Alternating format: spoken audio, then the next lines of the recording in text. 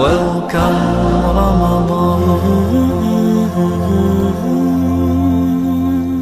حدیث نمبر انیس سو چوہتر عن ابی حریرت قال قال رسول اللہ صلی اللہ علیہ وسلم اذن تصف شعبان فلا تصوموا. حدیث کے راوی حضرت ابو حریرہ ہیں، وہ کہتے ہیں کہ رسول اللہ صلی اللہ علیہ وسلم نے فرمایا اذن تصف شعبان فلا تصوموا.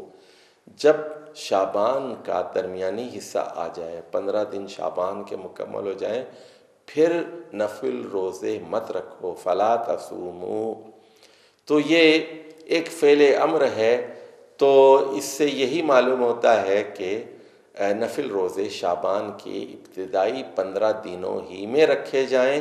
اور شابان کے آخری دنوں میں نہ رکھا جائیں اور پچھلی حدیث حدیث نمبر انیس سو تہتر سے اس کو ملا لیں تو یہ بات معلوم ہوگی، سوائے اس آدمی کے جس کا معمول ہو۔ اور حدیث نمبر انیس سو پچھتر کی طرف آتے ہیں وَعَنْهُ قال، اور انہی سے روایت ہے یعنی حضرت ابو حریرہ سے روایت ہے۔ قال رسول اللہ صلی اللہ علیہ وسلم احسو ہلال شعبان لرمضان رواہ الترمذی تو وہ یہ کہتے ہیں کہ شابان کے دنوں کا شمار کرتے رہو رمضان کے لیے۔ تو پہلے سے آپ کو گنتے رہنا چاہیے، بلکہ اس سے پہلے یعنی محرم اور سفر ہی سے یعنی ہر مہینے کا حساب کتاب رکھا جائے، ہر مہینے کے چاند کو دیکھا جائے۔ اور رمضان تو نواں مہینہ ہے اور شابان آٹھواں مہینہ ہے اور شب، شوال دسواں مہینہ ہے۔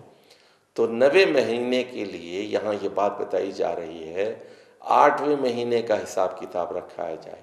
اور اس سے پہلے رجب کا بھی حساب رکھ لیا جائے تاکہ شابان صحیح وقت پہ شروع ہو جائے۔ اور شابان کا حساب آپ صحیح رکھیں گے تو رمضان کا حساب بالکل صحیح رہے گا۔ تو یہ حدیث بتا رہی ہے کہ پچھلے مہینے کا حساب کتاب رکھا جائے تاکہ پچھلے مہینے کے چاند کو بھی دیکھا جائے، تاکہ تاکہ رمضان بالکل صحیح صحیح متعین کیا جا سکے۔ اب چلتے ہیں اگلی حدیث کی طرف، حدیث نمبر انیس سو چھہتر۔ ون ام سلمت قالت ما رأيت النبي صلی اللہ علیہ وسلم يسوم شهرين متتابعين الا شعبان و رمضان. رسول اللہ صلی اللہ علیہ وسلم کی اہلیہ ام المؤمنین. ہماری ماں حضرت ام سلمہ رضی اللہ تعالی عنہ فرماتی ہیں، میں نے رسول اللہ صلی اللہ علیہ وسلم کو کبھی نہیں دیکھا، دو مہینوں کے مسلسل روزے رکھتے ہوئے۔ متتابعین، شہرینی متتابعین، مسلسل، الا شعبان و رمضان. تو آپ صلی اللہ علیہ وسلم، آپ صلی اللہ علیہ وسلم تو پورا شعبان روزہ رکھتے تھے اور پورا رمضان روزہ رکھتے تھے، مسلسل ملا کے. رواہ ابو داود و ترمیزی و نسائی و ابن ماجہ تھا۔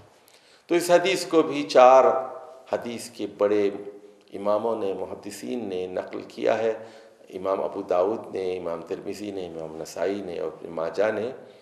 اب اس حدیث کو ہم ملائیں گے حدیث نمبر انیس سو چورہتر سے، جس میں کہا گیا تھا اذن تصف شابان فلا تصومو، کہ جب شابان کا نصف آ جائے، درمیانی حصہ آ جائے، تو پھر اس کے بعد روزے نہ رکھنا۔ تو وہ کیا ہے؟ وہ ایک قولی حدیث ہے۔ مت رکھو، فلا تصومو۔ اور یہ کیا حدیث ہے؟ یہ حدیث فعلی ہے۔ اس میں رسول اللہ صلی اللہ علیہ وسلم کا اپنا عمل بتایا جا رہا ہے۔ اور آپ کی بیوی ہماری ماں ام سلمہ اس کو روایت کر رہی ہیں کہ میں نے رسول اللہ صلی اللہ علیہ وسلم کو کسی اور دو مہینوں کو ملاتے ہوئے نہیں دیکھا، سوائے رمضان اور شابان کے پورے دو مہینے آپ مسلسل روزہ رکھا کرتے تھے۔ تو کیا بات معلوم ہوئی اس سے کہ یہ خصوصیات نبوی صلی اللہ علیہ وسلم میں سے ایک ہے۔ یہ آپ کی ذات کے لیے خاص تھا کہ آپ شابان کا پورا مہینہ روزہ رکھا کرتے تھے۔ لیکن امت کو آپ نے یہ تعلیم دی کہ پندرہ شابان کے بعد روزہ نہ رکھا جائے۔ البتہ شابان کے روزوں کی ترغیب ہوئی ہے اور ابتدائی پندرہ دن میں زیادہ سے زیادہ روزے رکھے جا سکتے ہیں۔ اور پھر ہم نے یہ بات بھی بتائی کہ کہ ایک عام مسلمان کو رمضان سے ایک دن پہلے اور رمضان سے دو دن پہلے ہرگز ہرگز روزہ نہیں رکھنا چاہیے، تاکہ ایک خط فاصل کھینچ دی جائے شابان میں اور رمضان میں، سوائے اس آدمی کے لیے جو ایکسیپشن رسول اللہ صلی اللہ علیہ وسلم کی طرف سے دیا گیا ہے، جو پیر اور جمعرات کو اپنے معمول کے نفل روزے رکھتا ہے۔ حدیث نمبر ایک ہزار نو سو ستتر۔ وان ابی عمار بن یاسر قال من سام اليوم الذي يشك فيه فقد عصى ابا القاسم صلى الله عليه وسلم. رواه ابو داود والترمذي والنسائي وابن ماجه کہ شک والے دن روزہ نہیں رکھنا چاہیے۔ یعنی شک والا دن کون سا ہوتا ہے؟ انتیس شابان کے دن جب چاند نظر نہیں آتا تیس شابان کا دن، تیس شابان کا دن شک والا دن ہوتا ہے۔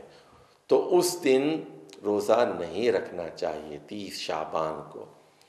تو چونکہ ٹوینٹی نائن کو، انتیس شابان کو چاند نظر نہیں آیا بادلوں کی وجہ سے، تو پورے تیس دن مکمل کرنا چاہیے۔ شک والے دن روزہ نہیں رکھنا چاہیے۔ تو اسلام پھر اس میں یہی کہتا ہے کہ شک سے اپنے آپ کو پاک کرنا چاہیے، شک کو دور کرنا چاہیے، شک کا ازالہ ہونا چاہیے۔ تو خواہ مخواہ ہم تیس شابان کو روزہ کیوں رکھیں؟ Welcome Ramadan